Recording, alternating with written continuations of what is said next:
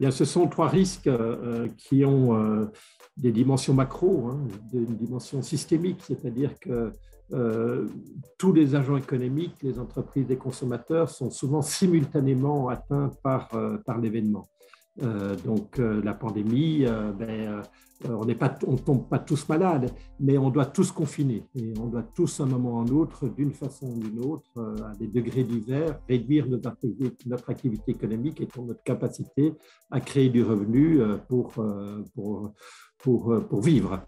Et donc, ça, cette problématique de, corrélation positive entre tous ces événements individuels fait que ce sont des risques qui sont difficilement assurables. Les assureurs, ils aiment bien les risques euh, qui sont indépendants des uns des autres, hein, euh, que tout le monde ne soit pas malchanceux au même moment. Euh, parce que, parce que, en général, le système assurantiel, ce qu'il fait, c'est utiliser les primes payées par les chanceux euh, pour indemniser les malchanceux. Et si, et si tout le monde est malchanceux au même moment, euh, ça va poser une difficulté pour l'assureur. Alors l'assureur a des fonds propres euh, pour, dans ces cas-là où tout le monde est malchanceux en même temps, payer des indemnités qui, qui va créer des pertes pour la, compagnie d'assurance, mais ces pertes, elles seront financées par une ponction sur les fonds propres. Donc ça, ça va, ça va tant que les pertes ne dépassent pas un certain niveau, en particulier les fonds propres. Et aujourd'hui, force est de constater que les fonds propres des compagnies assurance vie, euh, des compagnies d'assurance dommages et vie, euh, ne sont pas, euh, ne sont infinies. Et donc, lorsqu'on on affronte des sinistres qui globalement atteignent 10, 20, 30% du PIB, euh, on les compagnies d'assurance ne peuvent pas assurer ce type de risque. Donc, euh, donc ça pose un vrai problème d'assurabilité, le fait qu'on ait l'émergence de risques climatiques qui sont des risques systémiques, des risques pandémiques ou des risques cyber, euh, qui tous, tous ces risques peuvent avoir des conséquences en termes de sinistres atteignant un certain nombre de pourcents, voire de dizaines de pourcents du PIB. ça, c'est pas quelque chose d'assurable euh, par, euh, par les marchés, par les compagnies d'assurance, où ils ne peuvent le faire que dans des dimensions euh, très marginales. Il faut bien comprendre que le risque climatique a deux dimensions. Il, il y a un risque lié aux dommages aux dommages euh, climatiques eux-mêmes. On va augmenter la température moyenne de la Terre, euh, donc on va augmenter euh, les sinistres liés à ça. Le niveau des mers va augmenter parce que l'eau des mers se dilate notamment, mais aussi, mais aussi ça va augmenter la fréquence des catastrophes naturelles, des catastrophes climatiques. Donc ça, c'est un, risque qui, comme je viens de le dire, n'est que partiellement assurable par les assureurs.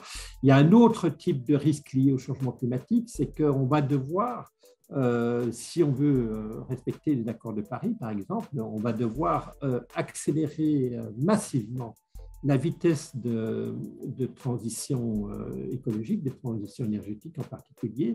Et ça, ça va conduire à à des pertes, euh, des pertes en capital dans un certain nombre de secteurs. On va devoir fermer euh, beaucoup plus tôt que prévu des centrales au charbon, des centrales au gaz pour l'électricité. Et puis, des gens qui ont acheté des voitures euh, thermiques aujourd'hui vont se rendre compte que peut-être que dans 5 ou, ou 7 ans, l'essence, le prix de l'essence à la pompe qu'ils vont devoir acheter pour remplir le réservoir, que ce prix devient insupportable et qu'il faut beaucoup plus tôt que prévu passer à une voiture électrique.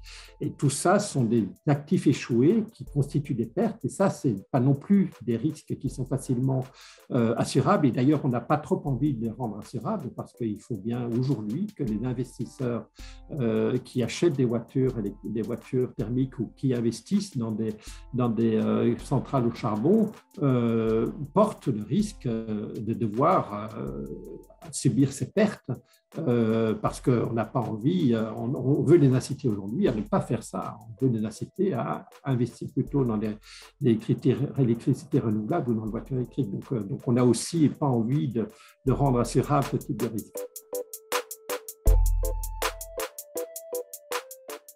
Alors là, on a besoin en particulier de visibilité. Je pense que c'est très important que les, tous les acteurs aient conscience euh, que euh, les, risques qu'ils portent euh, liés au climat sont des risques qui vont évoluer dans le temps et que ceux qui ne font pas les efforts euh, de réduire cette sensibilité euh, de leurs actifs ou de leur, euh, de leur bien-être à, aux évolutions climatiques anticipées vont devoir en payer les conséquences.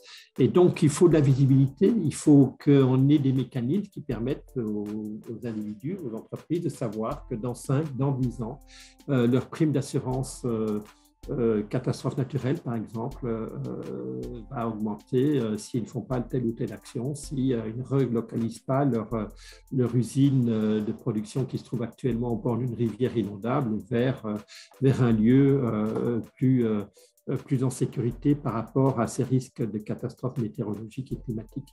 Et donc, donc moi, je je pense, euh, penche plutôt vers euh, euh, des, politiques publiques qui, en particulier en termes d'information publique, rendent plus transparents les risques portés par les acteurs économiques liés au changement climatique.